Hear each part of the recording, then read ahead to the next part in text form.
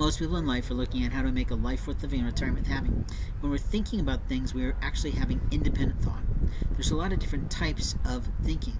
There's divergent thinking, there's dialogic thinking, and there's all kinds of superfluous Kantian theory thinking. But the question is, what do you know about? What do you think about? And when you think about it, how do you plan it out?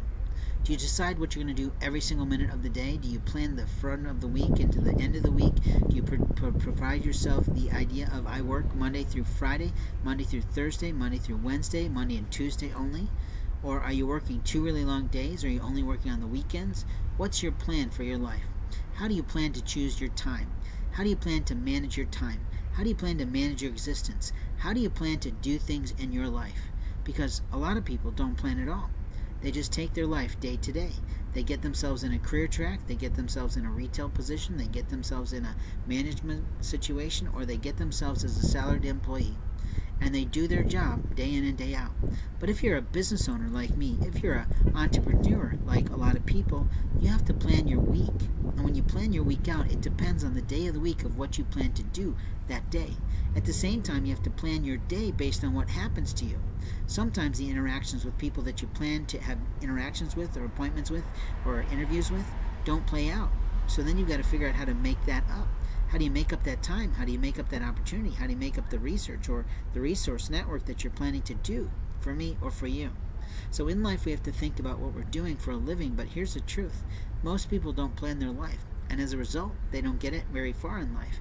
They might get to a forty or fifty thousand dollar a job uh, year a job, sorry, a forty or fifty thousand per year job, but a lot of people never get there at all. I was recently talking to a science-oriented major who's about got a year left in her college here, and she was believing that she could walk out of her university just out of undergrad and make a forty thousand dollar a year job. I thought, wow, we didn't do that back in college. And maybe that's possible for someone with a science background and who knows everything there is to know about killing or producing or budding or whatever they do with marijuana. But that's not the point. The point is every career has a different beginning salary, and every year you get a 3 to 7% raise if you do really well in your performance. But if you don't, how do you increase your money? You see, independent thought is what we have to have more of today and independent businesses are definitely needed today. But national conglomerates are suffering today because a lot of young people don't know how to be an employee today. They're too busy in their independent thought, they're too busy in their independent mind, they're too busy in their opinion, and they're too busy feeling entitlement over time. I've definitely visited some fast food restaurants where I can't get over the attitudes and the arrogance of some of the people there. And if I claim the demographic of people who are doing that, you'd be like not surprised or you'd be pissed at me. So I can't say that and I can't do that, but there's definitely a statistical analysis of that.